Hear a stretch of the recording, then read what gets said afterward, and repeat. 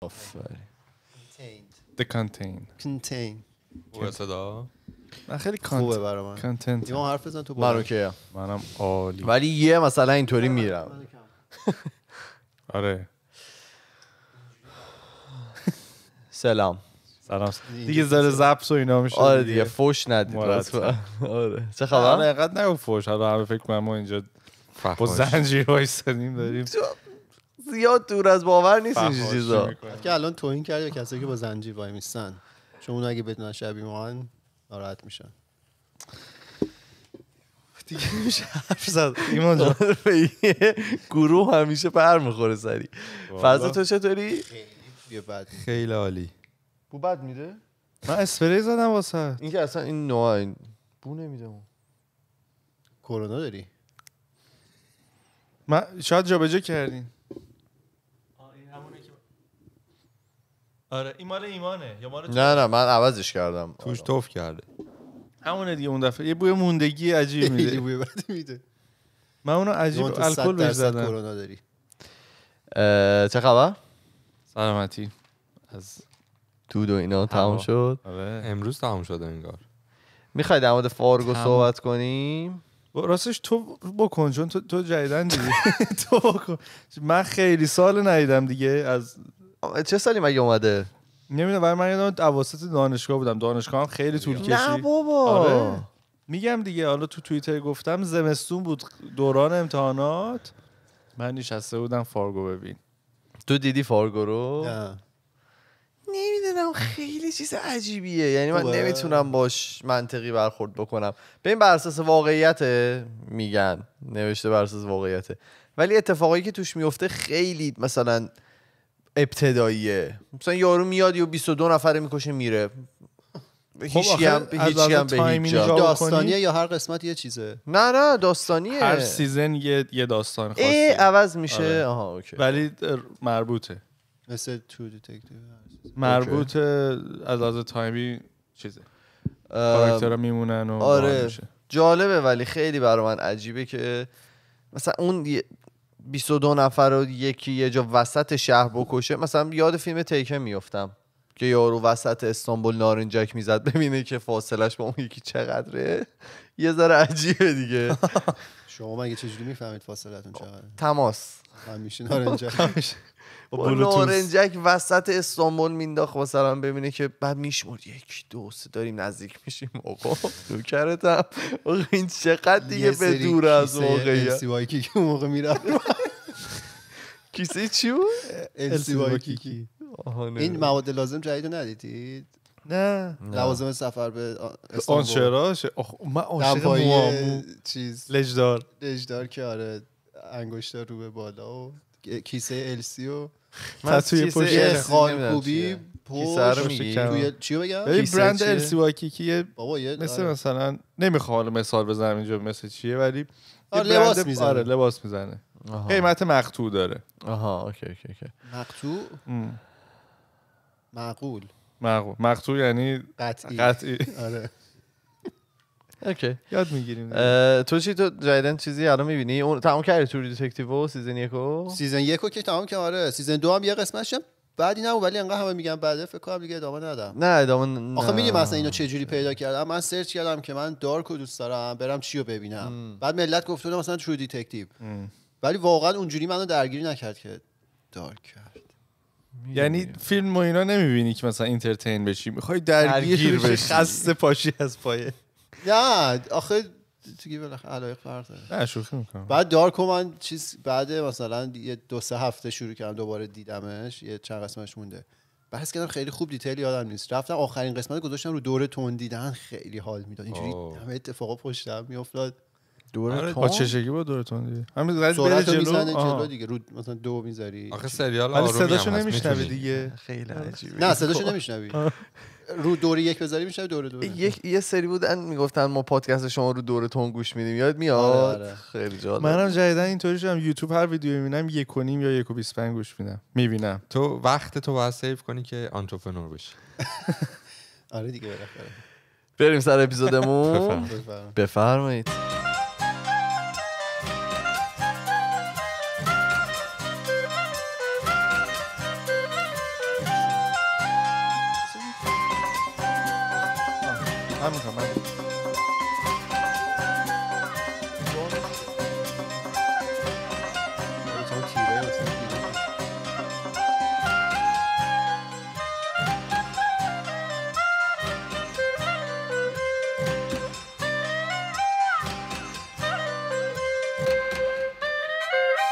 سلام اینجا خودکسته پادکست خیلی خودمونی. من ایمان هستم میزبان برنامه. یکی از میزبان های این برنامه در کنار من کارون جریان داره. سلام. فرهاد و فرزادم با من سلام. سلام فرهاد رفت الان این دوربین ما یه ذره تیره و تار شد رفت یه ذره درستش بهتر کنه. شد. بهتر شد. آره، آره، دیدم. آره. خو- خوشم میاد که تو هم می‌فهمی. یعنی نگاه بهت کردم فهمیدی که مشکلم چیه. از این راضیم. جان چه شلوار زیبایی. مرسی. از همین است که شما دارین؟ آره. خیلی راحته. اسپانسر شده این فقط چرا؟ چه جوریه که نمی‌رسه؟ جوراب به پاچه با این شلوار ورزشی دیگه. آه، اون مشکل نداره؟ معلومه. اه، آقا اگه کفش مردونه پوشتم شلوارم نرسید بیاد اینجا منو سلاخی کنی. کرده بودن دیگه. یکی گفته بود یه نه کفش چیزی شلوار مردونه. نبود. حالا ام، آخه میشینی میاد بالا. دیگه بله بله. خب اونا هم همه نشسته بودن احتمالا. پا رو بندازی رو پا که دیگه خیلی میاد. بالا. سر پا چیز اولی که می‌خواستم بگم این دوده ونکوور در هفته گذشته ما رو آره. یعنی واقعا. وضعیت قرمز بود. توی هفته گذشته حالا الان یه ذره بهتر شده. اگر که چیزی بیرون می‌بینید این دیگه این واقعا ابره. آره. این دیگه هوای واقعیه. همه شهر یک و دو بودیم تو آلودگی. آره خیلی وضعیت خراب بود. من چند شب پیش دو, دو سه شب پیش بود. مثلا سه اینا بیدار شدم اومدم آب بخورم. بعد این ساختمونه معلوم نبود. و واقعا ترسیدم یه ذره. مثلا شب به خودم اومدم که من من. چون لنز می‌ذارم خیلی متوجه شدم اینو. به سوزش بد افتاده بود چشمم و اینا. بعد خیلی بد نمیشه, زیاد بیرون. خیلی بد بود برای کسایی که مشکل تنفسی دارن یا حالا مسن هستن. ولی هنوز همه ورزش می‌کردن. یعنی ما این سرکارمون یه راه دویدن جلوش وجود داره. در سنهای مختلف اینا هر روز صبح می‌دیدم که میان و میرن و برام عجیب بود که هیچی از اصلا براش مهم نیست. خیلی جالبه که میومدن ورزش می‌کردن. و اینکه یه فرقی هم نمی‌دونم فرقش رو احساس کردین یا نه. چون خب هر سال تو ونکوور حالا تو بی سی اتفاق میفته آتیش سوزی میشه و چند سال پیش بود. ما از خونه ایمان ضبط می‌کردیم بوی سال. دود و عجیب و اینا میومد میشه این بو نمیده این چرا وضعیتی دورتر که- بود خیلی دوره آره همون. یعنی به خاطر اینکه- نزدیک فکر کنم تو راه دیگه؟ تمام این بو و اینا میره دیگه احساس می‌کنم تا برسه این. خیلی وارد تکنیکالیتیش نشیم چون نمی‌دونیم هیچ نه. ولی می‌خوام ببینم شما احساس. کردین آره؟ بونه مثل اون موقع بو نمی‌داد درسته تو بو می‌داد بو می‌داد تو اینطوری آره. بود. فرهاد من می‌رفتم اصلا تو بالکن بو آقا اینقدر نگو کنو دیمونتایزمون می‌کنم به قرآن چرا بگیم. کلمه چیزیه اوکی. آره. مرض درد اینو می‌خواستم بگم. حالا ما کلی بازی در میاریم یکی دو هفته گذشته ونکوور همه شهر یک و دو بود. من تهرانم باش چک می‌کردم. خیلی راحت همیشه تا رتبه هشت میمد بالا از نظر آلودگی. یعنی همیشه شهر ایران توی آلودگی هن. نه آره اصلا بند خود تو ایران که دیگه آره. نگم. دوم چیزی که خواستم بگم یه خوش آمدگویی بگیم به دوستایی که به جمعمون اضافه شدن. بعد از اپیزود با کوروش خب خیلی چند هزار نفر توی اینستاگرام به ما اضافه شدن. حدود 500 600 نفر توی یوتیوب به ما اضافه شدن. و خیلی سوال داشتن که آقا چجوری اصلا پادکستتون چجوری کجا پخش میشه چه روزایی پخش میشه و اینا. من توضیح بدم که هر سه شنبه و پنج شنبه موضوع جدید داریم. هر سه شنبه و پنج شنبه ساعت 6 و نیم عصر وقت ایران پخش میشه.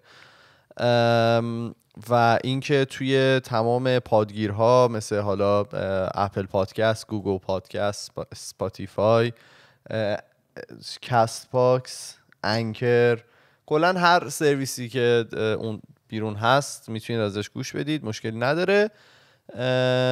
پادبان چی بود؟ یه چیزی Podbean. اونم هست. آره Podbean. همه جا هستیم. یوتیوب هم videocast ش آره یوتیوب هم تمام اپیزودا از فصل فکر کنم وسط های سه فصل چهار فصل پنج فصل شیش همش توی یوتیوب هم داره. چهار فکر کنم. آخر فصل سه و دیگه چهار و پنج. آره آخر فصل سه چهار و پنج و شیش و اونام همون موقع توی یوتیوب هم قرار می‌گیره می‌تونید اونجا به صورت تصویری ببینید.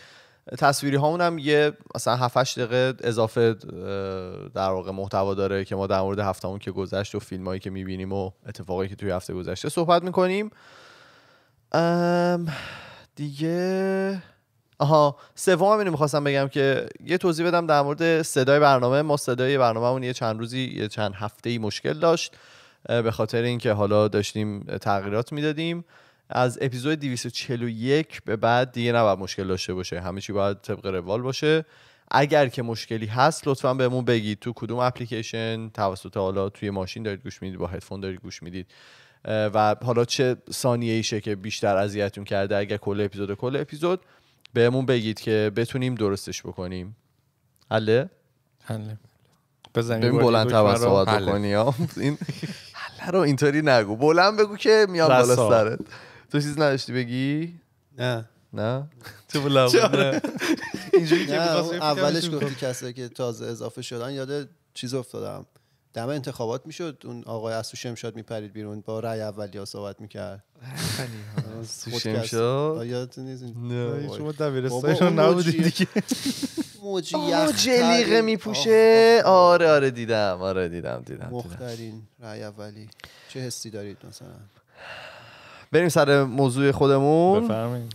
به قول کارون بذار با یه سوال شروع کنم. خیلی وقت بود با سوال شروع من می‌کردم. دیگه عوض آره. آقا تابال شده که یه کاری رو با عشق و علاقه زیاد شروع کنید. با کلی ایده جدید و جالب. ولی بعد از چند وقت یواش یواش اون اشتیاق رو از دست بدید. به خودتون بیا ببینید که اصلا چرا دارین این کار رو ادامه می‌دید. احساس کنید که داره اذیتتون می‌کنه و اصلا دیگه نمی‌خوان این کار رو ادامه بدید.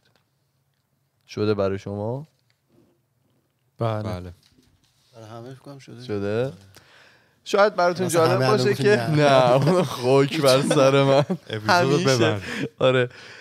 خب می‌دونیم که تنها نیستیم تو این جور مسائل صفحه یک تموم همیشه شد؟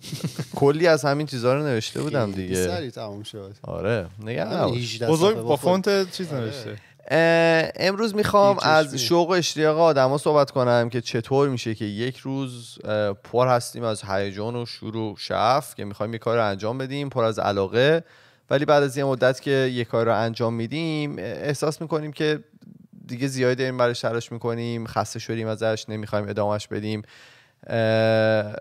و میریم دنبال یه کار دیگه از بچگی به ما گفتن که آقا وقتی احساس می‌کنی داری کم میاری اونجاست که باید دیگه بیشتر تلاش کنی بزنی پاره کنی بری جلو یعنی دیگه چی میگه. ابی.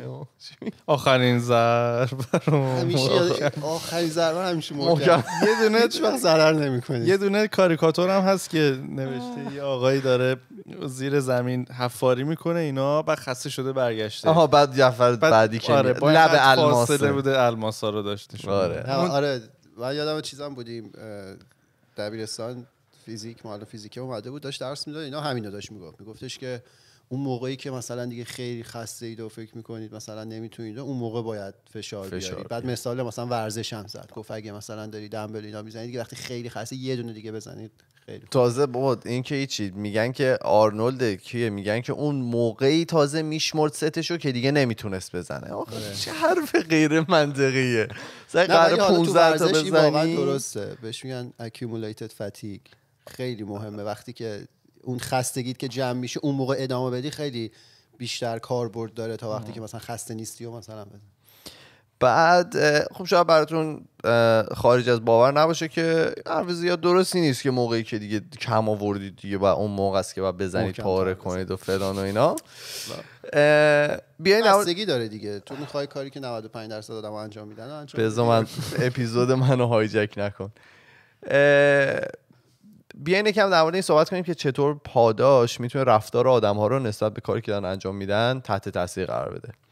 یه تئوری وجود- داره از آقای الکساندر راثمن که یه چیزن ام، استادن توی دانشگاه مینیسوتا مینیسوتا مینیسوتا تو فارگو اینا. آره که پیشنهاد آره دقیقا اتفاقا خیلی داشتم می نوشتم برام جالب بود. که پیشنهاد میده که توانایی انسان برای ادامه انجام کار خیلی مرتبط هست به درکی که از پاداش تهش داریم. یعنی چی؟ یعنی مثلا اگه من دوست دارم پادکست درست بکنم و می‌بینم خب این همه زحمت می‌کشم این همه وقت می‌ذارم ولی هیچکس نمیشنوتش. هزینه پادکسته از پاداشی که برای من داره به مراتب بیشتره. حالا هزینه که میگم حتما مادی نیست. تلاشی که می‌کنی وقتی که می‌ذاری. و یواش یواش آدم ناامید میشه.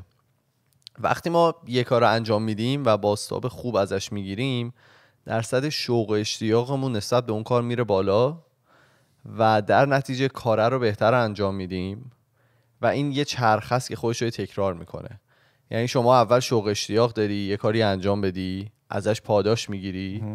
این پاداشه باعث میشه که کاره رو دوباره بهتر انجام بدی کاری که بهتر انجام بدی دوباره شوق اشتیاق می‌گیری و میفتی تو این چرخه مثبتی که وجود داره.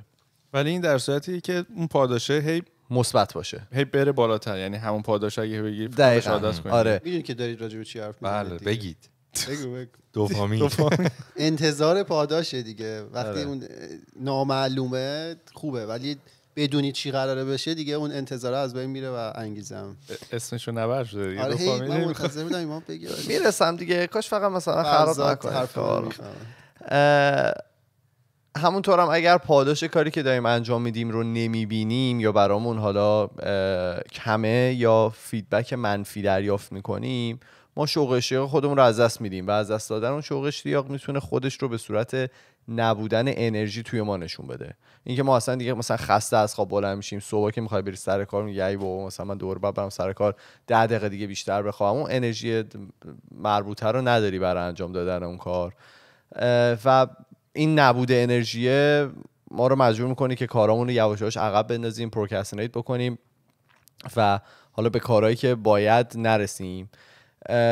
و این رو تجربه می‌کنیم چون مغز ما دستور میده میگه رفیق انرژی برای کاری که پاداش نداره نذار دیگه. بذار برای که به ما داره کمک می‌کنه. به جای اینکه وقت بذاری مثلا یه محتوا تولید بکنی که هیچ کس نمیشنوه بیا مثلا وقت بذار چه می‌دونم غذای بهتر درست کن اون به مثلا زنده بودن ما بیشتر کمک می‌کنه. یه استادی هستم به نام داگلس لایل اه، که روانشناس هستن و تخصص ایشون هم توی انگیزه و موتیویشنه. اه، که میگن احساسات ما یه فیدبک سیستم در بدن ماست که می‌تونه خیلی به همون کمک بکنه. مثلا اگه قراره یه مسابقه بدیم مسابقه دو بدیم توی صحرا مثلا برای جای خطرناک و اینا رد بشیم می‌تونه خیلی به ما کمک, کمک کنه که زنده بمونیم اون نگرانی که وجود داره توی بدنمون. که حتما مثلا نگرانیه مجبورون می‌کنه بریم تمرین بکنیم. بریم تحقیق بکنیم ببینیم از کجاها باید رد بشیم چه خطراتی ممکنه داشته باشه. وسایل خودمون رو چندین بار چک می‌کنیم. اگر نیاز به یاد گرفتن یه مهارت جدید باشه اون رو میریم یاد می‌گیریم که بتونیم زنده بمونیم. ولی همچنین اگر استرس خیلی زیاد بشه توی بدنمون نشونه اینه که باید استراتژی خودمون رو تغییر بدیم. اون روشی که داریم یه کاری رو انجام میدیم بهتره که بریم تغییرش بدیم. اگر خیلی استرس داشته باشیم اون احساس شوق و شعفی که داریم رو نسبت به چیزی انگیزه که داریم رو از دست میدیم و انرژی لازمه رو دوباره برای اون انجام اون کار نداریم و این باعث میشه که کار، کارمون رو درست انجام ندیم. دوباره برمیگردیم به همون چرخه‌ای که گفتم ولی این دفعه برعکسشه. ما اون ریوارد رو نمی‌گیریم اون پاداش رو نمی‌گیریم موتیویشن اون رو از دست میدیم روی پرفورمنس یا انجام کارمون تاثیر می‌ذاره و دوباره این چرخه منفی دوباره ادامه پیدا می‌کنه. حالا خود این استرس داشتن بده همیشه. تجربه شخصیتون. ببین بستگی به لول استرس داره.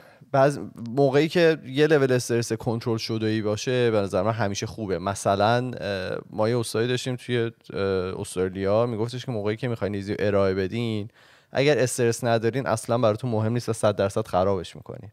میگفتش که اون استرس داشتنه هر از گاهی به شما کمک می‌کنه که کار بهتر رو انجام بدید. یعنی ولی وقتی که از یه حدی زیادتر میشه و دیگه اون کنترل رو روش نداری شروع می‌کنه این واقعا اصلا تو رو عقب میندازید که کلا انقدر ذهنت رو درگیر می‌کنه نمی‌تونی اون انرژی کافیه رو روی برای انجام کار بذاری. آره این نظر من همین بود. می‌خواستم شما همچین تجربه مشابهی داشتید یا نه. چون اگه واقعا آدم بی استرس باشه برای انجام یه کاری احتمالا براش مهم نیست. اون. استرس تا یه حدیش باعث میشه که خب یه انرژی خوبی رو قضیه بذاری فکر کنی. ولی هم- از یه حدی بیشتر هم باشه دیگه. کلا خاموشت می‌کنه اونم بده. آره مثلا میگم همین مس... همین اه، مثال دویدن توی صحرا به نظر من مثال خوبیه. که تو اگر می‌خوای بری مثلا یه مسابقه بدی اگر هیچ ت- مثلا تمرینی نکنی یا استرس هم نداشته باشی احتمال مرگت زیاده. چون می‌خوای صحرا بدوی می‌دونی؟ ولی اگر که یه حدی از قابل قبولی از استرس رو داشته باشی بهت کمک می‌تونه بکنه که کارت رو بهتر انجام بدی. و حالا اون چرخه منفی که گفتم مشکلش اینه که وقتی میفتیم تو این چرخه منفی خیلی سخت ازش بخوایم بیایم بیرون. حتی وقتی می‌بینیم که داره کارمون عقب میفته ولی اگر که یواش یواش شروع کنیم یه سری کار کوچیک رو انجام بدیم شاید یواش یواش بتونیم از اون حالت گیر افتادنه یا اون استاک بودنه بتونیم بیایم بیرون. یکم مثال از خودمون بزنیم. شما حالا توی زندگیتون سوالی که توی اینستاگرام پرسیده بودم اینه که چی شما رو به وجد میاره در, در شما ایجاد انگیزه می‌کنه و چی هست که شما رو از اون انگیزه ای که دارید حالا اون انگیزه رو درونتون می‌کشه. یه سوالی که خیلی کامیس حسینی توی چیزاش می‌پرسه توی در واقع تمام برنامه‌هاش می‌پرسه. حالا من دوست داشتم که نظر شماها رو هم بدونم. ببین من بگم؟ بفرمایید. من مثلا اگه قرار باشه یه کاری رو انجام بدم تصمیم گرفته باشم که انجام بدم اگه بدونم چه مراحلی رو باید طی کنم که به اون هدف برسم این خیلی برای من حس خوبیه انگیزه زیادی برای من ایجاد می‌کنه میرم دنبالش. از اون طرف وقتی که هدف نقطه نهایی رو بدونم کجاست ولی مسیر بینش رو ندونم این قشنگ منو گیر میندازه. یعنی تا ابد من می‌تونم اون کاره رو عقب بندازم. مثالی که بتونم بزنم فرض کنید که چه می‌دونم مثلا من می‌خوام یه اپلیکیشنی رو بنویسم. خب فرض کنید اپلیکیشن اینجوریه که ایمان مثلا فایل رو به من میده. این اتوماتیک مثلا قراره که فایل رو توی همه جاها مثلا با کپشن خود با کپشن مناسب و فلان و فلان اینو. منتشر کنه. خب من الان می‌دونم هدف نهایی چیه. این اپلیکیشن قراره چه کاری انجام بده.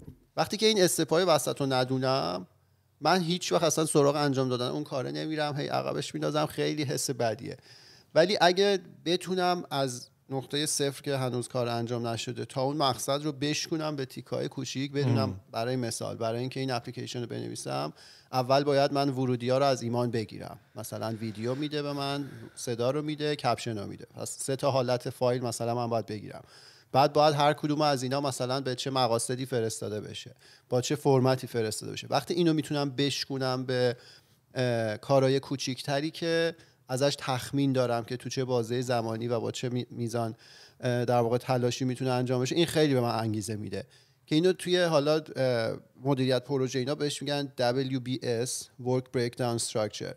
قبلا فکر خیلی راجبش صحبت کردیم ولی اینجوریه که شما مثلا یه پروژه بزرگی رو می‌خواید انجام بدید هیچ کس نمی‌تونه هیچ تخمینی بزنه که این چقدر طول می‌کشه چه میزان نفر ساعت باید مثلا روی این زمان بزنن. کاری که می‌کنن اینه که کار بزرگ رو میان انقدر تقسیم می‌کنن به چیزهای کوچیکتر تا به یه مثلا واحد خیلی کوچیکی برسه که تو دقیقا می‌دونی این واحد کوچیک رو مثلا یک نفر تو یک ساعت انجام میده. قبلا انجام شده مثلا این کار یه تخمین راحتی می‌تونی ازش بزنی. آره این این قضیه رو که بشکنیم به چیزهای کوچیکتر این تو زندگی خود من من تاثیرش رو هر روز دارم می‌بینم. وقتی انگیزه ندارم که بدونم چی می‌خوام ولی ندونم چجوری انجامش بدم. وقتی خیلی انگیزه دارم که بدونم چی می‌خوام و این رو شکونده باشم به قسمت های کوچیکتری که بدونم چجوری باید انجامش بدم. این خیلی به من کمک می‌کنه. شما چی؟ شما تو زندگیتون؟ من من دقیقا برعکس کارونم. خیلی داشتم حال می‌کردم تعریف می‌کرد. من دوست دارم که بدونم مقصد کجاست یا حداقل اون تیمی که باش کار می‌کنم مقصد کجاست ولی همگی ندونیم این به چجوری باید به مقصد برسیم. بعد یه مسئولیتی هم به من داده بشه که برید راه رو بریم پیدا راه رو. پیدا کنیم اصلا خیلی به شخصیتش اون است- نمی‌خوره اون استرسی که میفته تو جونم مثلا شب و خوابم نمی‌بره واسه اون کاره و پیدا کردن این فرموله خیلی بهم حال میده خب واسه هم همین کمم یکی پیش میاد. نشد مگه نه م- اه، تو من هم, دوست هم دارم در پیدا داری کنم. میری راه رو پیدا می‌کنی آها آها ولی اون اون جرق اولیه وقتی واسه اتفاق میفته که گنگ باشه وسط راه یعنی همگی ندونیم چی آقا بریم ببینیم راه درستش رو پیدا بکنیم آره ولی بالاخره شما میرید راه درست رو پیدا می‌کنی و پیدا م- آه. حالا اینو بهت بگم تو یعنی تا وقتی راه درست رو ندونی قشنگ انگیزه داری که بری انجامش بدی. انجامش بدم آره و وقتی بدونم که یه سری من رو مسئول اون کار می‌دونن من باید من یه باری رو دوش اون باید رو بذار کنار. آه. من اجبار کاری ندارم. اون فاکتور اجبار رو حذف کن. فرض کن یه کاری رو باید انجام بدی ولی هیچیشو نمی‌دونی. استرسی که بهم میده رو دوست دارم. دو تا کار تو لحظه فرض کن داری. خب. خب. جفتشو می‌دونی می‌خوای به کجا برسی. یکی راهو بلدی یکی بلد نیستی. تو اون لحظه کدومو برمیداری انجام میدی؟ اون خب اون که راحت تره اون که راه بازتر رو برمیدارم. اون که بلدی راهش اون که بلدم آره. آره. آره. ولی از لحاظ شور و هیجانی اونی که بلد نیستم حسش واسم بهتره. برای من اینجوری که اونی که بلد نیستم procrastination میاره. من عقبش میندازم. ولی به محض اینکه بشینم مثلا خوردش کنم راحت میشه برام. انگیزه میاد. آها فهمیدم. شما چی؟ من قبل اینکه کارون جوابشو بده جوابم این بود که یعنی فکر کردم حالا وقتی که کارون داشت حرف زد می‌خواستم بگم که برای من اون اون قسمت آخر اون چیزی که می‌خوایم بهش برسیم باعث میشه که انگیزه پیدا کنم و اینا. و حالا اینجوری بهش فکر نکرده بودم که کارون میگه که مثلا استپای بینش تا برسی به اونجا اون هم تاثیر داره یا نه. و حالا باعث شد که من فکر کنم که اینطوری بوده یا نه. و تجربه شخصی مثلا تو دانشگاه من یادمه که رشته science science general بودم مثلا تا سال دو. بعد تصمیم گرفتم که برم مثلا یه چیز خیلی خاص تو science فیزیولوژی مثلا برم. بعد خب یه سری پیش نیازایی داشت برای اینکه بری. یه سری کلاس ها باید نمرات یه سطحی بود که بتونی بری تو اون رشته. یا حالا گرایش مثلا. بعد من یادمه که پرینت کرده بودم اون requirement هایی که می‌خواستن یا حتی با نمره هاشو زده بودم به دیوارم. بعد اه، قشنگ اینطوری بود که قشنگ اینا رو باید پاس بکنی. با این نمره آخرش هم نوشته بود که okay approval می‌گیری تو این رشته. بعد اون خیلی برام مثلا حد- ترما چهار ماه دیگه. چهار ماه چهار ماه میگذشت مثلا منم چهار پنج تا کلاس برمی داشتم. اینی که بیام این course رو مثلا خط بزنم. میگم okay این با این مارک گرفتم برم بعدی. این خیلی مثلا منو motivate کرد. بعد ولی میگم حالا اینی که کارون گفت هیچ موقع به این فکر نکرده بودم. مثلا تو همین مثالی که زدم مشخص بود دیگه. بعد این course ها رو برمی تو این time frame تو این مدت زمانی با این نمره مشخص بود که برسی به اون آخر کار. شاید هم منم اونطوری هم که باید مثلا پیدا باشه step ای وسطش حالا برا من یه جورایی متفاوته. من موقعی که یه کاری می‌خوام شروع بکنم فکر کنم دیدین دیگه. خیلی احساسی اصلا آدم موتیویشنال با انگیزه مثلا دوست دارم یه کاری شروع بکنم. ولی اگه وسطش به بنبست بخورم دست اندازی باشه من موتیویشن رو از دست میدم. ضد حال می‌خوری. خیلی من سری خیلی سریع سردش. و خیلی شدید ضد حال می‌خورم تو می‌کنم مثلا اگر مثلا چم یه ویدیو رو آپلود می‌کنم مشکل داره خیلی رو اعصاب من راه میره و اذیتم می‌کنه. این حالا بهش می‌رسیم ولی برای من اه، اون اه، ت- یه جورایی دیل کردن با اون شکسته با اون اتفاقای حالا بدی که ممکنه بیفته یه ذره من خیلی سخته وضعیت هم می‌کنه توی حالا انجام دادن یه کار. یه ذره از دوستامون بشنیم ببینیم چی گفتن. من همین سوال رو. تو اینستاگرام پرسیده بودم. احسان گفته بود دیدن نتیجه ها دیدن نتیجه های موفق به هم انرژی میده. یعنی موقعی که یه کاری انجام میده موفق میشه. انرژی می‌گیره. یه نفر دیگه گفته بود که انرژی مثبت و انرژی مثبت و منفی و حرفای منفی و مثبت می‌تونه روی تاثیر تاثیر بذاره روی رفتاری که داره نسبت به انجام دادن یه کار. دنا گفته بود هورمون هام این خیلی مهمه. بله. قشنگ خیلی مهمه. الهام گفته بود حس رقابت با بقیه بهش انرژی میده. که اینم جالب بود برا من. فرزانه گفته بود آب و هوا چجوری می‌تونه توی اون حس رقابت رو من نمی‌دونم چقدر ساستینبل یعنی چقدر تو بلند مدت میشه بهش. ببین بعضی اینطوری دیگه بعضی واقعا یعنی حالا من خودم بعضی موقع این حس رو دارم که اگر ببینم یه نفری رو که می‌شناسم توی یه حالا کاری که من بهش علاقه دارم مثلا مثل gaming از من بهتره به من زمین و زمان رو پاره می‌کنم. می‌دونم چی میگی. ببین ماها خب همه تا برسم بهش و برسم تمام ها. یعنی من بتونم ثابت کنم که بازم آره. بگو ببخشید. ماها همه تو همین محیطی بز- بزرگ شدیم که رق... اصلا بر اساس رقابت شما میری مدرسه دارید باید رقابت کنی خب؟ حالا هر کسی به یه نحوی اون دوران رو گذرونده و این به ما انگیزه داده درست میگم.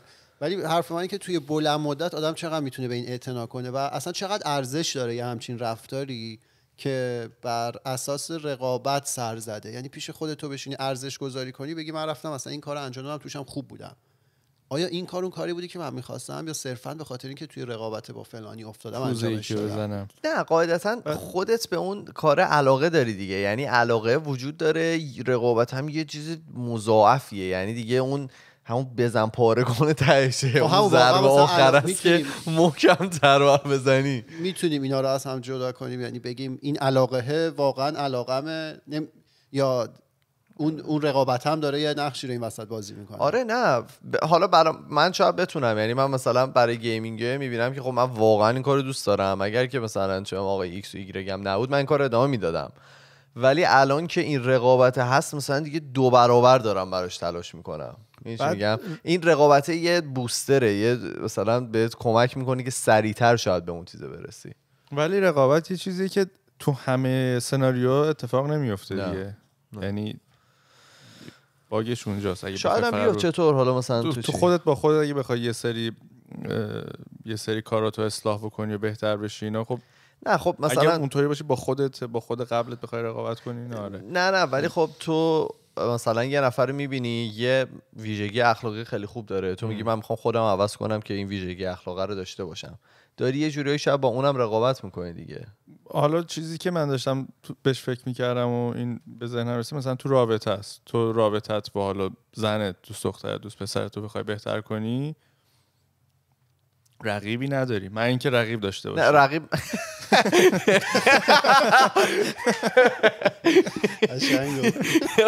رقیب نداری که دیگه مگر اینکه رقیب داشته باشی.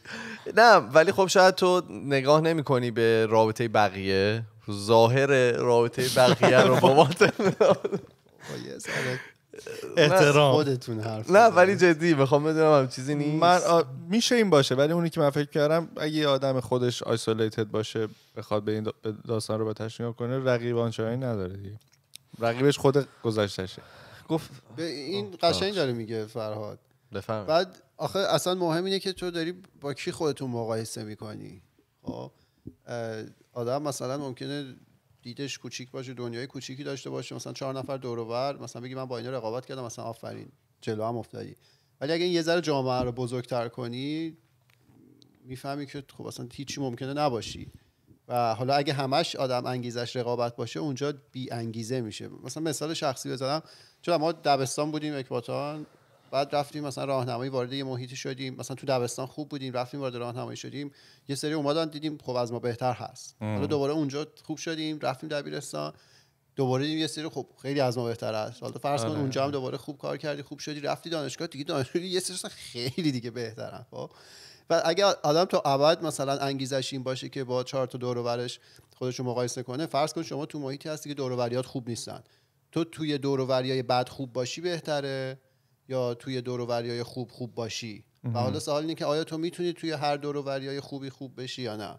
فرض کن دور و بر تو مثلا مارک زاکربرگ و بیل گیتس و فلان اونجا بیشتر یه آدم بی انگیزه آره، حرف من بیشتر اینه یعنی اون جامعه آماریه که خیلی بزرگ بشه تو واقعا می‌فهمی هیچی نیستی. نه ولی خب تو نسبت به توانایی خود اون جامعه آماری شکل می‌گیره دیگه. من که نمی‌تونم برم ور دست بیل گیتس و مارک زاکربرگ بشینم.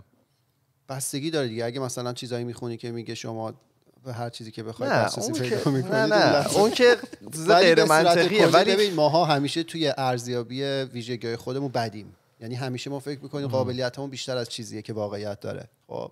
من ممکنه یابو منو یا برعکس. منو یابو ورداره. برعکسش هم هست. ولی بیشتر این وریه. یابو منو ورداره که آقا من بخوام مثلا بیل گیتس هم میشم چرا که نه؟ فلان. با خب. انرژی بدی. آره. خب. و اون موقع میشی یه آدمی که در واقع ارزشاتو گذاشتی بر مبنای اولا یه ارزیابی غلط از خودت دوما بر مبنای رقابت مثلا با فاکتوری که هیچ وقت بهش نخواهی رسید و افسرده و دپسورده میشه. آره. دپسورده روی من باورم اینه ها که می‌دونم. اون حس رقابت این ماندگار نیست. یعنی تو خودم می‌بینم هرچی مثلا سن بالاتر میره حالا سنی هم نداریم. اون اون ارزشش رو از دست میده. سن ناقابلی. دقت کردید ما اف- خیلی خودمون رو دیس می‌کنیم اول. یعنی قبل از اینکه برای اینکه مثلا بتونیم بقیه رو دیس کنیم اون کلید اسرارش اینه که اول یه دونه به خود بزنی. یه شغل هم برو تو آره. من حس می‌کنم سن بره بالا دیگه نمیشه خیلی رو حساب باز کرد. مهدی گفته بود بیعدالتی و تبعیض انگیزه رو درش می‌کشه.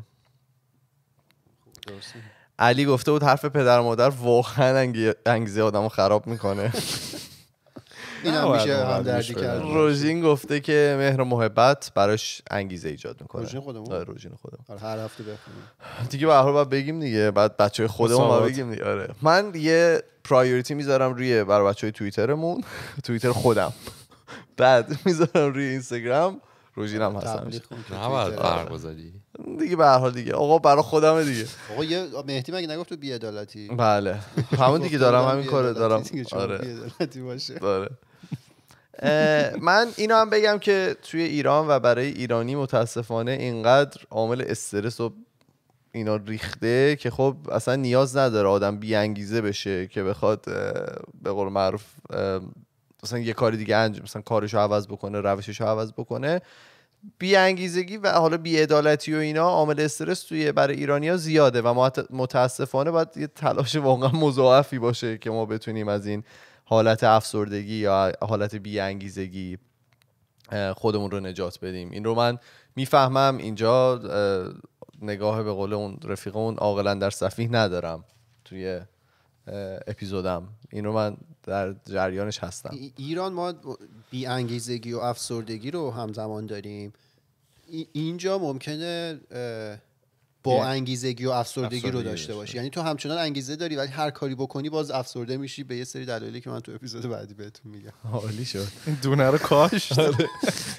ام، یه چیزی داشتم می‌خونم نوشته بود پشت تمام تصمیمایی که ما می‌گیریم تو زندگیمون یه کاست بنفیت انالیسیس یا تحلیل هزینه و فایده وجود داره. و این می‌تونه به صورت آگاهانه یا, یا در ناخودآگاه ما انجام بشه. و ما اون ف- حالا اون فایده ای که فکر می‌کنیم از یه کار می‌بریم رو مقایسه می‌کنیم با هزینه ای که اون کار می‌تونه برای ما داشته باشه. حالا با اینکه پول یه فایده حالا یه ریوارد یا فایده خیلی مناسبیه یه پاداش خیلی مناسب و واضحیه فایده ها در اشکال گوناگون ممکنه شکل بگیرن و اون پاداشی که ما حالا می‌گیریم یا فایده ای که می‌بریم می‌تونه یه جورایی ثابت بکنه به ما که ما داریم راهمون رو درست میریم. حالا تصمیم می‌زنم تصمیم می‌زنم. مثال می‌زنم که مثلا اگر که ما یه پادکستی تولید می‌کنیم و می‌بینیم که حالا تعداد شنونده مناسبی داره احساس می‌کنیم که خب کاری که داریم می‌کنیم مناسبه کاری که راهی که داریم میریم درسته. و برعکس این قضیه هم صادقه دیگه. اگر که ما پادکست می‌زنیم و کسی نمیشنوه شاید باید یه تغییری توی کارمون رفتارمون انجام بدیم. بعضیا هستن که با ترس انگیزه می‌گیرن. برای رسیدن به یه هدفی. مثلا میگن من دارم مثلا وام دانشجویی میره بالا از این راضی نیستم پس از دانشگاه میام بیرون. به خاطر اینکه این انگیزه از الان؟ انگیزه می‌گیرن آره دیگه انگیزه می‌گیرن که وام دانشجویی نداشته باشه. یعنی می‌خوان تصمیم هدفشون اینه که وام داش- دانشجویی نداشته از باشن. ترس اینکه وام دانشجویی نشه از ترس اینکه وام دانشجوییشون بره بالا از اون از دانشگاهشون میان بیرون. این شبیه چیزه ترامپ که نمی‌خواست آمار کرونا بره بالا گفت کمتر. تست کنید. آره دقیقا. آفرین. خیلی که. کمتر بدونید؟ آره. کاش این ترس رو من گرفته بودم. این خیلی مهمه که هر سری. این خیلی مهمه که به رفتارمون حالا به این شکل نگاه کنیم که تصمیم احساسی نگیریم. بیایم هزینه انجام ندادن یک کار رو با فایده انجام دادنش مقایسه کنیم. مثلا اگر که من می‌خوام مثلا چه می‌دونم برم دانشگاه میگم که اگر من الان دارم میرم دانشگاه تغییرش ندم وام دانشجویی میره بالا. ولی خب ممکنه که به قول معروف یه چیزی هم یاد بگیرم بعدم بتونم از اون حالا دانشگاه یاد گرفتم استفاده بکنم. بیام اینو با این مقایسه بکنیم که من از الان دانشگاه بیام بیرون و از الان شروع کنم به کار کردن. ببینم که این دوتا با همدیگه روی ترازو اگه بذارم کدومشون سنگینی می‌کنه؟ کدومشون بهتره برا من؟ چجوری این عرضه رو انجام میدی؟ پیش کنه. دیگه میگی که مثلا میگی که من الان نمیرم دانشگاه دیگه از فردا. این اه، هدف این کار دومی که می‌خوام انجام بدم. الان من دارم میرم دانشگاه هزینه دارم وام دانشجویی دارم در آخرش هم مثلا 60 هزار دلار برام مثلا وام دانشجویی با پس بدم فردا روزی. یا اینکه من الان دیگه نرم دانشگاه از فردا برم سر کار مثلا انقدر پول در بیارم. توی چهار سال من از اون و 60 هزار دلار از دست دادم از این ور چقدر پول به دست آوردم؟ ولی خب اون دانشی که دارم هم باید توش دخیل بکنم. آره اگه مثلا اون دانش رو داشتی مثلا توی ده سال آینده چقدر رتبت می‌رفت بالاتر چقدر حقوقت میشه. این. مثالی که ایمان زد مثالیه که هزینه و در واقع پاداش. آره فایده. بنفیت سودش رو راحت می‌شد ارزیابی کرد. به نسبت راحت تخمین می‌شد زد. آره. ولی سوال من اینه که وقتایی که به این راحتی نیست تخمین زدن چی کار میشه کرد؟ برات مثال می‌زنم فرض کن شما توی یه رابطه ای خب اون موقع دیگه اینجوری نیست که من الان مثلا با این به هم بزنم مثلا برم با فلانی راحت نیست که عدد نیستش. بله. اون موقع چجوری میشه این قضیه رو اعمال کرد؟ ببین نمی‌خوام جواب بدی. مثلا که نظرتون چیه؟ ببین به هر حال من همیشه بر این باورم که ما ته ذهن خودمون همیشه یه یه تحلیل مناسب از وضعیتی که وجود داره داریم. خب یعنی مثلا من می‌دونم که توی رابطه هم و دارم از این رنج می‌برم. شاید به حالا به زبون نمیارم یا نشونش نمیدم.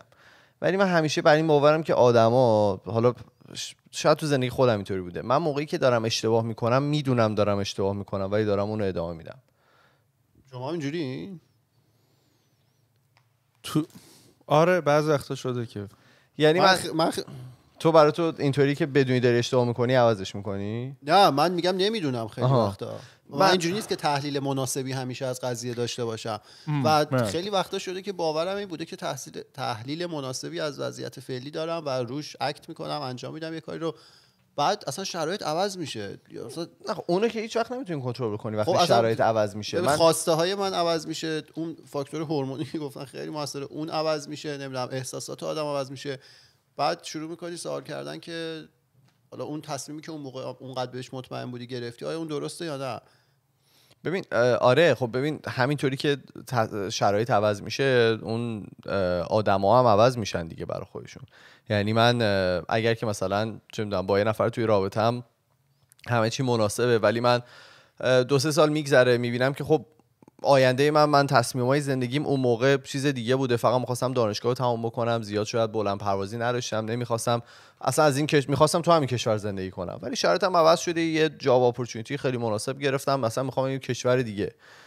اون موقع خودت می‌تونی ارزیابی بکنی. یعنی همیشه شرایط یکسان نیست. همیشه این شرایط عوض میشه. یعنی تصمیمی که دو سال پیش گرفتی تص... الزاما الان شاید کارساز نباشه. اینا باز مواردی که خیلی راحت میشه خیلی راحت نه راحت تر میشه راجبش تصمیم گیری که وقتی که مثلا یه فاکتور بیرونی هست کارت عوض میشه داری مهاجرت می‌کنی هر چیزی ولی وقتی اگه هیچ کدوم اینا نباشه اون کاست بنفیت خودش خیلی سخته هیچ نظر آ- من اینه. صد درصد اصلا این کار آسون نیست. یعنی حالا بعدا بهش می‌رسیم میگه که خیلی وقتا ماها از اون شکستمون یا از اون اتفاق حالا ساکسسمون از اون.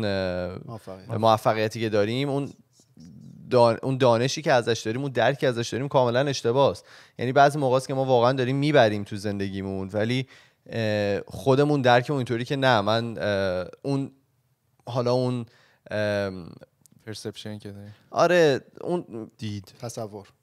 نه نه نمی‌خوام اینطوری بگم. می‌خوام بگم موقعی که ما داریم موفق میشیم انقدر برامون پررنگ نیست توی زندگیمون. و اون رو ما شکست تلقی می‌کنیم. حالا همین دیگه آره، از تفکر برد و باخت ولی فکر کنم کارون کلا میگه که این کاست بنفیته یه گری اریا داره واسه بعضی از. مباحث. ولی برای بعضی مثلا مثلا دانشگاه یا ماشین خریدن یا مهاجرت راحت تره می‌تونی مثلا صد درصد. ولی آخرش اینه که تو تصمیم می‌خوای بگیری. به هر حال این رو توی ذهن خودت انجام میدی دیگه. شاید واقعا خیلی هم سخت باشه. ولی آخرش شاید از حالا اون گاد فیلینگی که در موردش اپیزود رفتیم شاید همین حالا هزینه های بیرونی مسائل جانبی یه چیزی رو سرهم می‌کنی و باشه تصمیم می‌گیری دیگه. یعنی تمام تصمیمایی که ما می‌گیریم بر اساس یه فعل و انفعالاتی که تو ذهنمون انجام میشه دیگه. می‌بینیم که چقدر این کاری که می‌خوام انجام بدم به نفعمه چقدر این کاری که می‌خوام دیگه انجامش ندم حالا به ضررم بوده و شرایط رو تغییر میدی یا تصمیم می‌گیری که همین چیزی که هست بمونه. آره. آره. ولی درصد چیز سختیه. در آخرش هم درست و غلطی تو خیلی از مواقع وجود هست درسته. اینم حالا شاید خیلی ساده به نظر بیاد که حالا اون مثالی که من زدم که چه می‌دونم من می‌خوام برم دانشگاه ببینم که یه عدد داره دیگه. تو می‌تونی به صورت عددی اینو بسنجیش.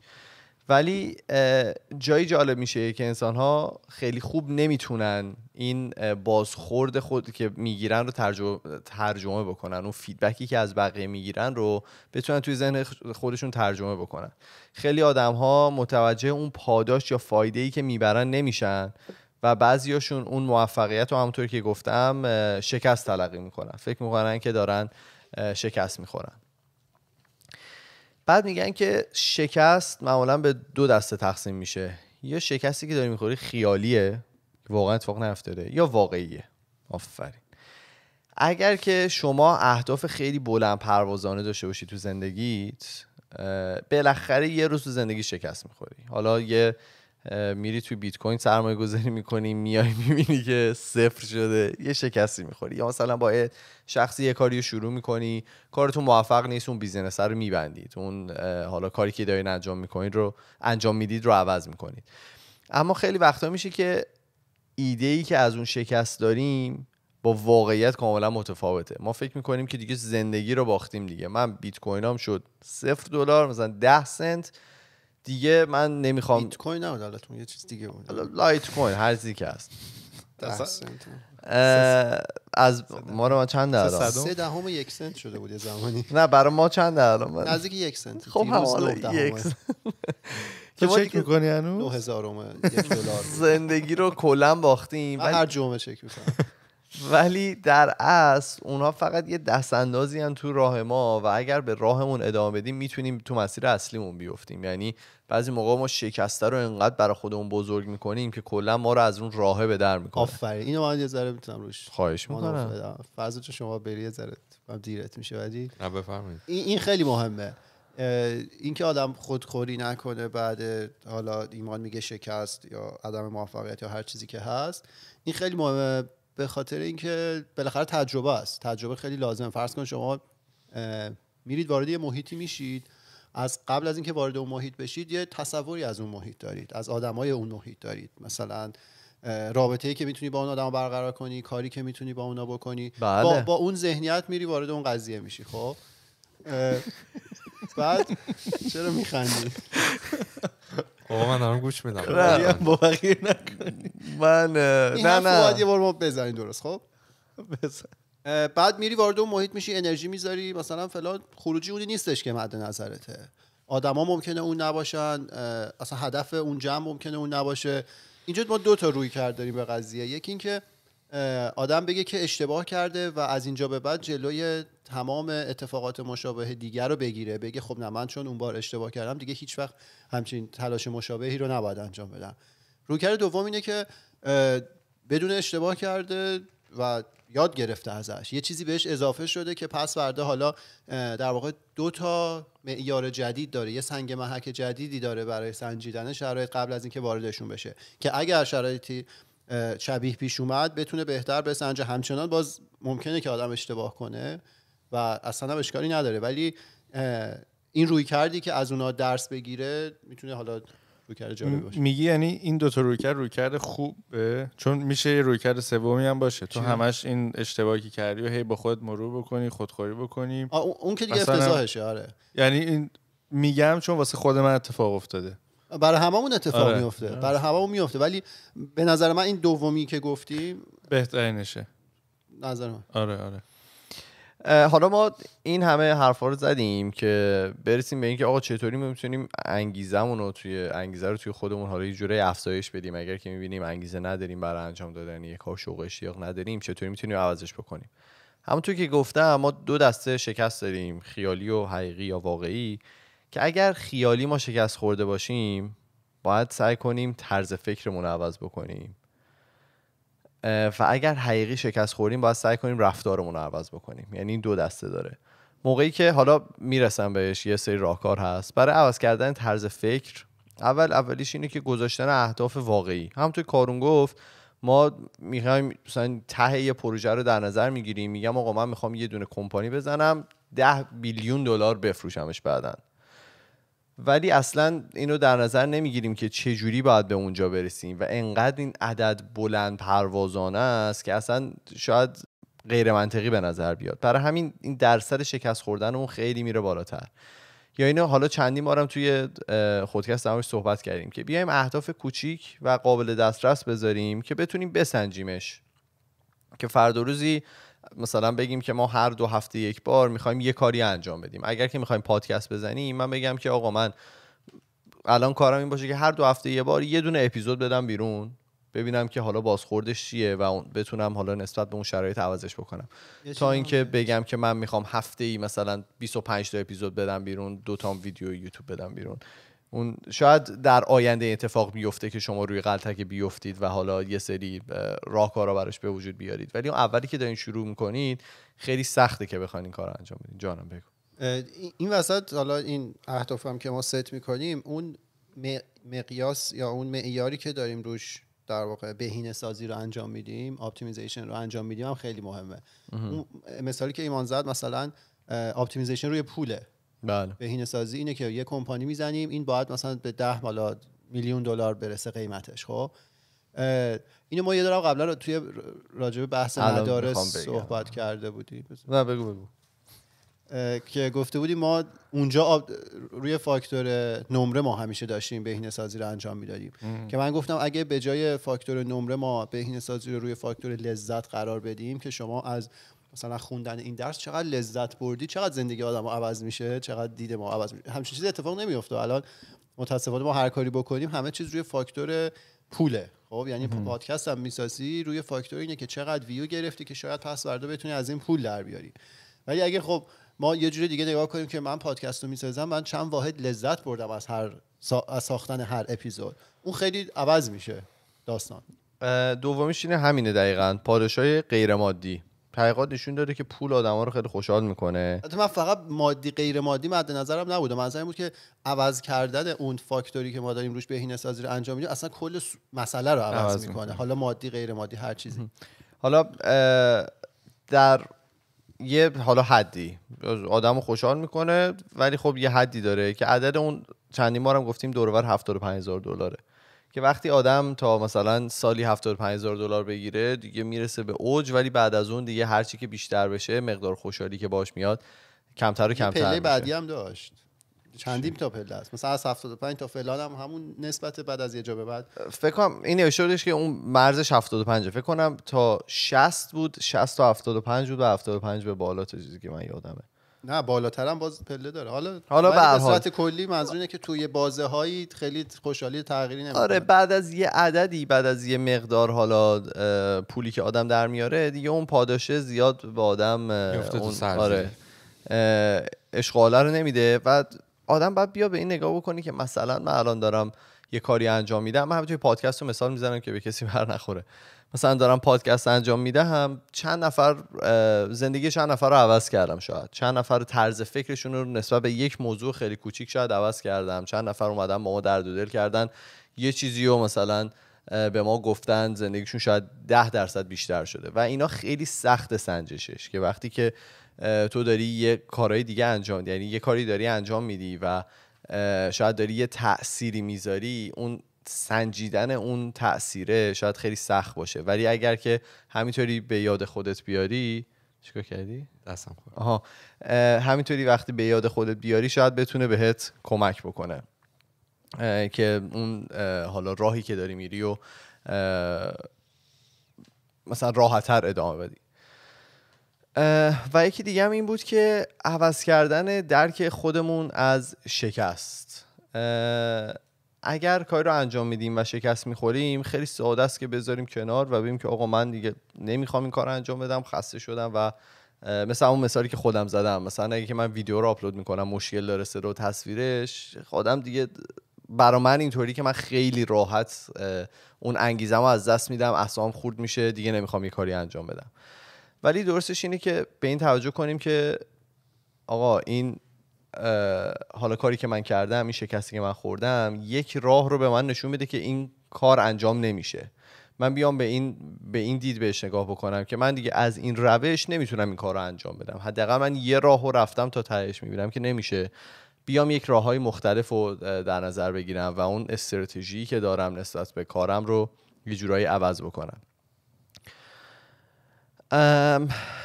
اون کتگوری دوممون چی بود؟ عوض کردن رفتارمون بود.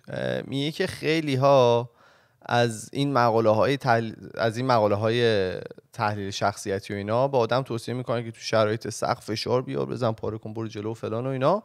ولی خب شاید همیشه هم این جواب نباشه. اگر می‌بینیم که شرایط داره برامون سخت میشه وقتی داریم یه کاری انجام میدیم باید یه قدم برگردیم عقب دوباره فکر کنیم ببینیم استراتژی گذاشتیم برای رسیدن به هدفمون درسته یا نه.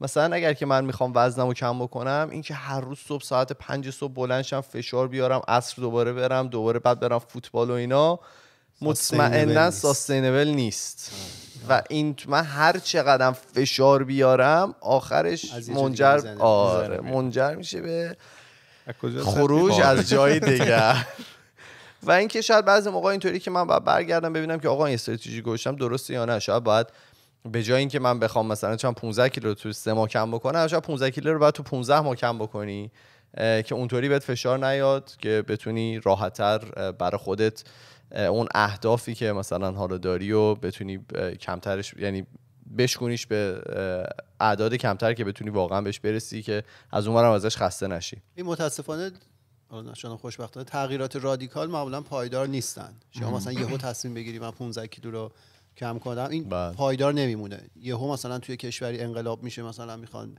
زیر رو کنن این دوباره پایدار نمیمونه. برمیگرده به یه شرایط بدتر دیگه بده. ولی این وقتی تدریجی ایجاد بشه اون میشینه. مثلا شما 15 کیلو رو توی 15 ماه این میشینه تو بدنت. من یه آدمم که وزنم اینه. ولی یهو باشه اصلا برف. هم اینطوریه. برف که آروم بیاد میشینه. بله.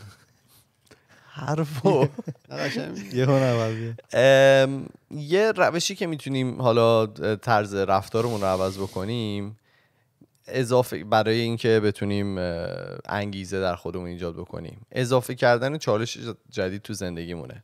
خیلی وقتا هست که آدما دپرس میشن چون زندگی اونا نیاز به حالا بهترین تلاش اونا توی زندگی نداره. یعنی طرف داره زندگیشو ادامه میده زندگی مناسبی هم داره. ولی از 40 درصد تواناییاش توی زندگی داره استفاده می‌کنه.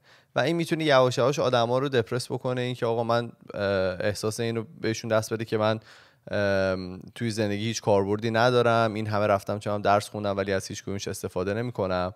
بعضی موقع این حالت دپرس شدنه به خاطر اینه و اگر که ما بتونیم یه چالش جدید به زندگیمون اضافه بکنیم چه می‌دونم بریم یه هابی جدید یه کار سرگرمی جدید انجام بدیم که دوست داریم. بطری رو بندازیم با تهش بیارم قبوله یا نه؟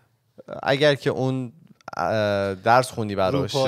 دستمال توالت عاشق این چالش اگر که درس خوندی براش و می‌بینی که از تواناییایی که حالا به دست آوردی توی اون درس خوندن.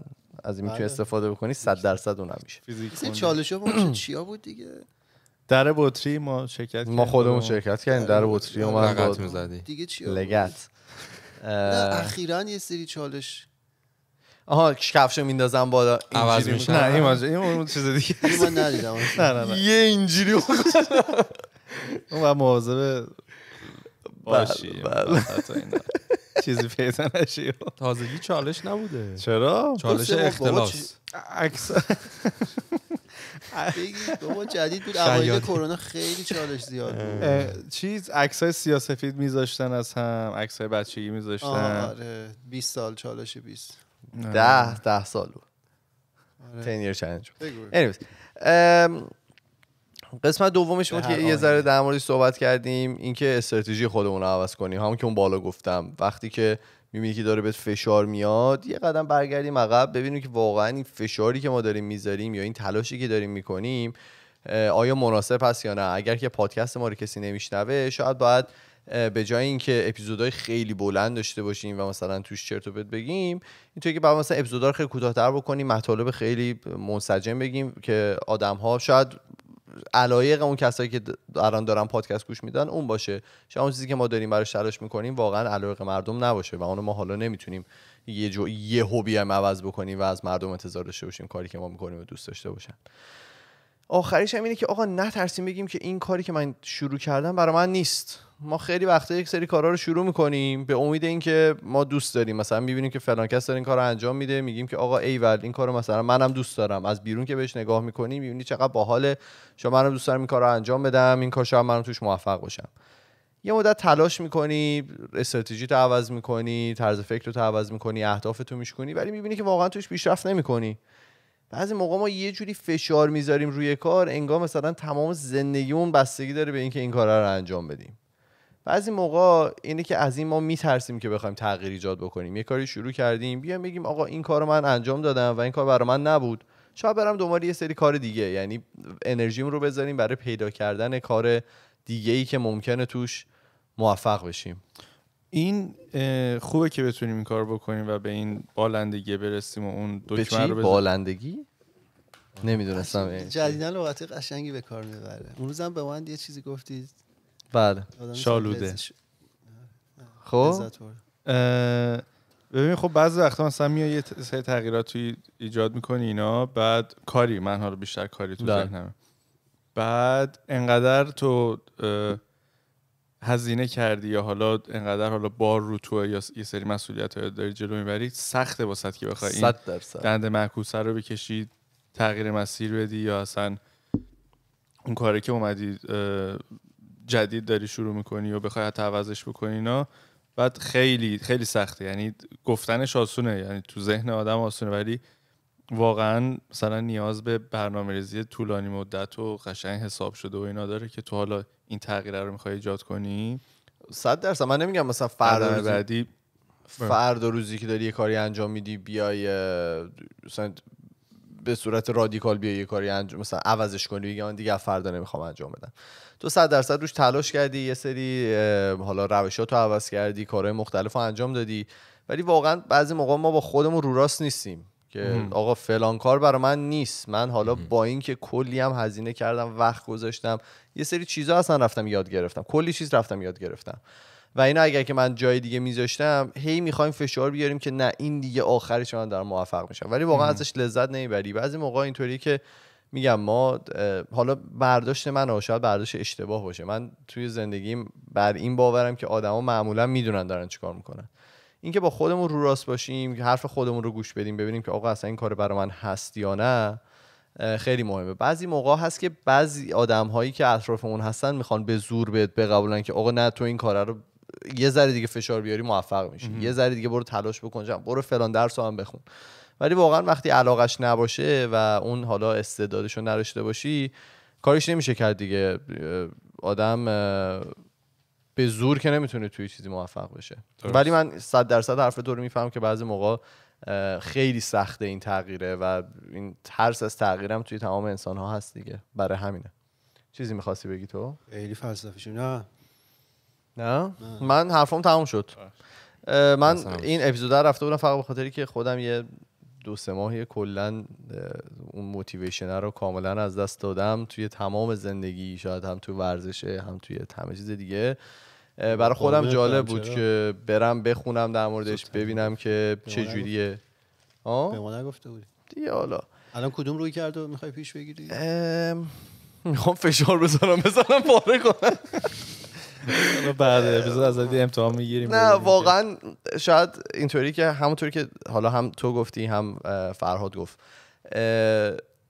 سخت پیدا کردنش اه، راه پیدا کردن یه روی کرده جدید خیلی سخته. بعضی موقع فقط زمان لازمه که آدم یه ذره حالا از کارهایی که داره می‌کرده فاصله بگیره ببینه که چه کارهایی می‌خواد ادامه بده چه کارهایی نمی‌خواد ادامه بده. شاید من هنوز توی اون کاست انالیسیس فیزم توی اون تحلیل فایده و هزینه و هنوز تصمیمو نگرفتم. ولی خب چون که خودم ولی چند تا آلترناتیو داری تو ذهنت؟ آره. چون که خودم داشتم باش دست و پنجه نرم می‌کردم گفتم که شاید یه سری آدم دیگه هم باشن که توی این شرایط باشن. مخصوصا توی این دوران کرونا آدما خب یه ذره تنهایی کشیدن یه ذره سخت بوده دیگه. آدما توی تنهایی میشینن به رفتار خودشون فکر می‌کنن دیگه. موقعی که دور و برت شلوغ آدمای مختلف رو می‌بینی میری چه پارتی میری اینور اونور همش دورت شلوغه. اون چیز ذهنیه رو نداری آمادگی ذهنیه رو نداری که بخوای به رفتار خودت فکر بکنی. هر موقع. نیاز به کمک خیلی. پایینی وقتی حساب کن. این کار پایینا این. مسخره کردنه درد بابا این از ته دلش گفت من دیدم دلو. جمع کرد و گفت خلاصه همین. شما بگو ببینم چی داری برام. یا می‌خوای بریم سر اپیزود کارون تو چقدر طولانی اپیزوده؟ چون مثلا یه ساعت و ربع شده. بستگی داره چقدر حرف بزنی وسطش. حالا فر... فرض تو وسطش بره. بگو بگو. okay تو بگو نه. آره. با یه سری کامنت شروع کنیم از هفته پیش. علی تو Castbox گفته اتفاقا رفت داره به حرفایی که امروز زدیم. گفته یه سال می‌خوام channel YouTube آموزشی را بندازم و هیچ وقت شروعش نکردم. چون حس می‌کنم background م تو ویدیوها خوب ن- نمیشه. بعد این اپیزود تصمیم گرفتم با هر چی که دارم شروع کنم. اتفاقا هم اپیزود کمالگرایی و آره. علی برامون بفرست. هر موقع شروع کردی برامون لطفا بفرست. یه علی دیگه تو Castbox در مورد ریختن ها اه، علی. اپیزود کارآفرینی گفته که آخ آخ اینا قبلا قبلا photographer و designer و بلاگر بودن. الان شدن کارآفرین. به قول معروف قوره قوره قوره نشده مویز شدن. قوره نشده مویز شدن. آره. اه، انقدر خوشم میاد که با یه سری آدما شما مبحث diss مشترک دارید. خیلی. دوست دارم یعنی شما هم کانالی. آره هم نظری با یه سری آدما توی diss که مثلا این این مواد لازم این page اینست. من برای همین باش حال می‌کنم. دست می‌ذاره روی یه سری مسائلی که تو هم نظری باهاش. مثلا میاد یه مدلای کافه های تهران رو دیس می‌کنه.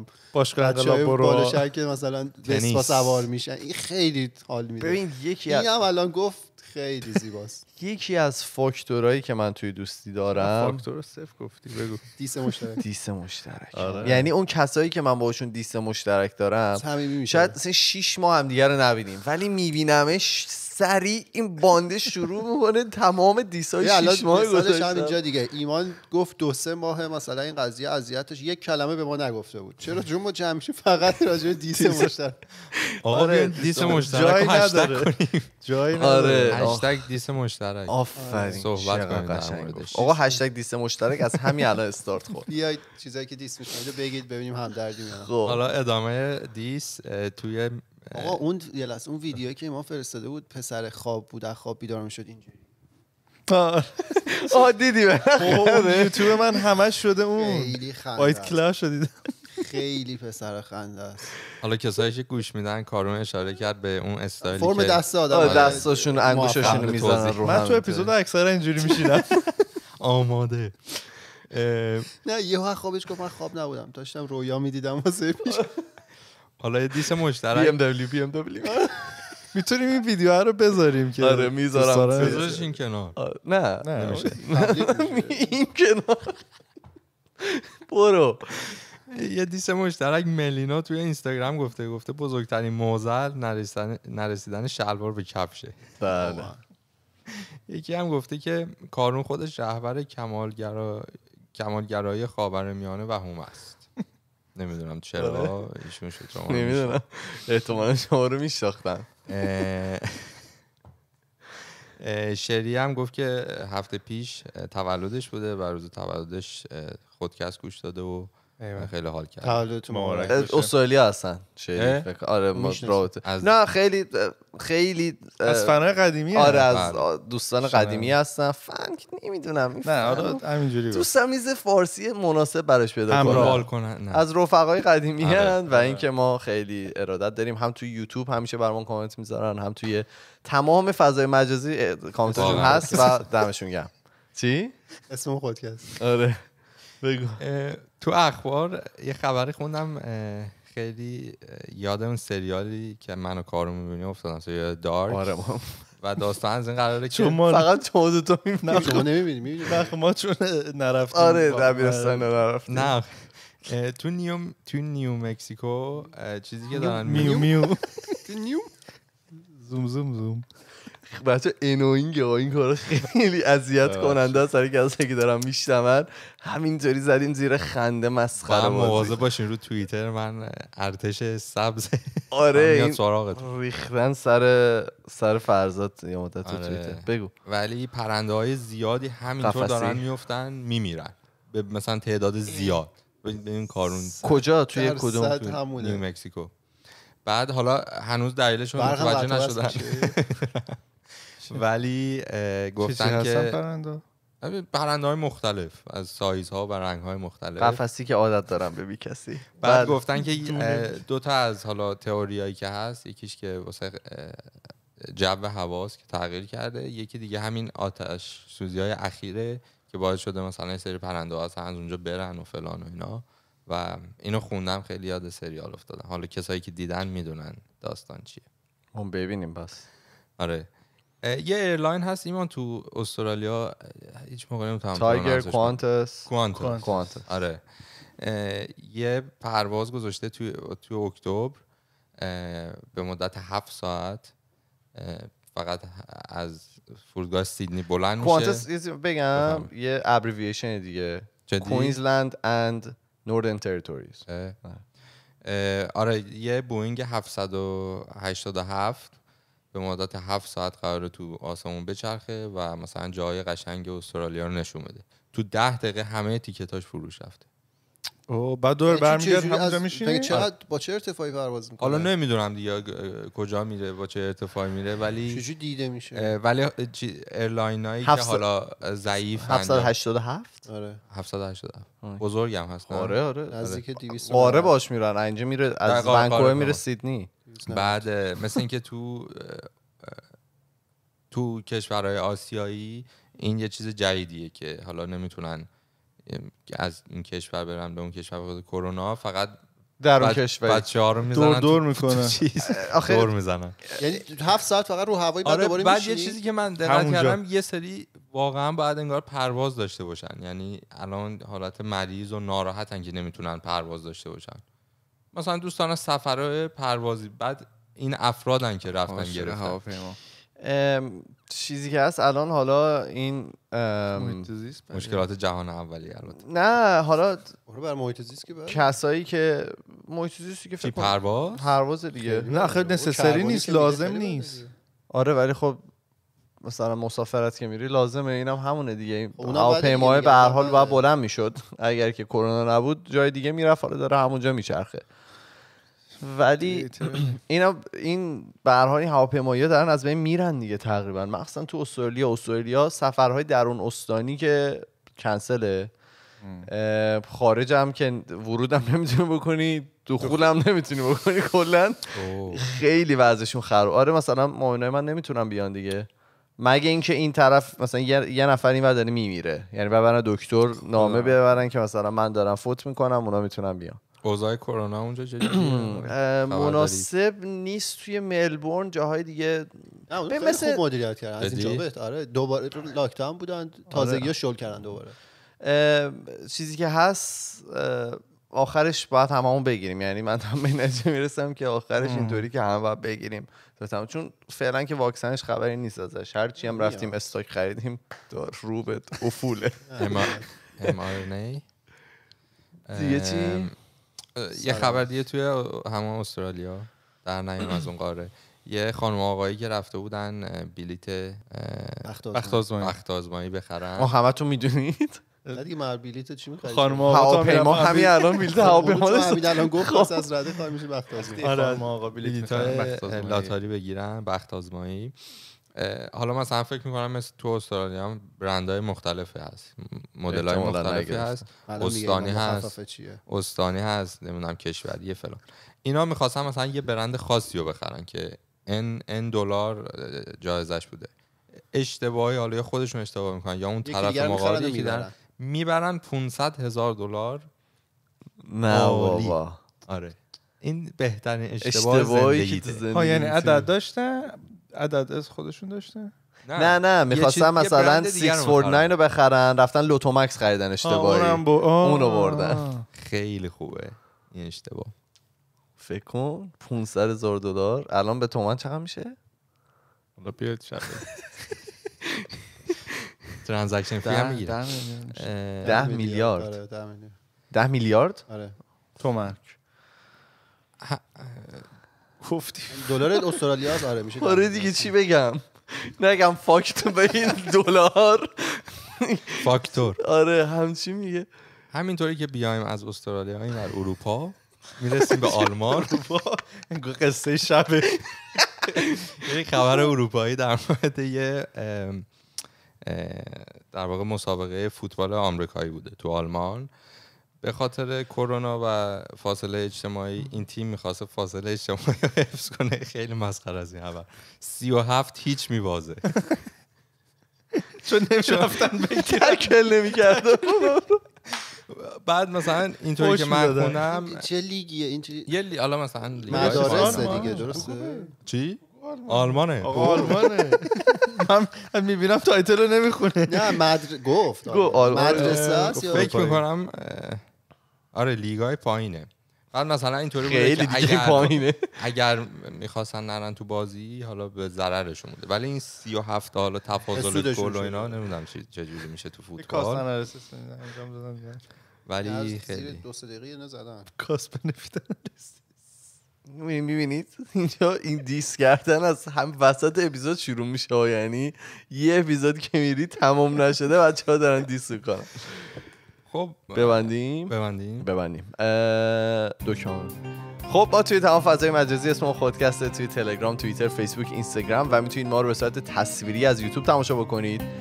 ما یه پروفایل داریم. الان این وسط؟ آره. داره بسته توی Apple Podcast Google Podcast Spotify اه، CastBox Podbean. پا- پادگیر. Podbean و جاهای مختلف دیگه. همه جا هست دیگه. یوتیوب ما رو subscribe کنید لایک کنید کامنت بذارید. video cast. خدافظ خدافظ خدافظ خدافظ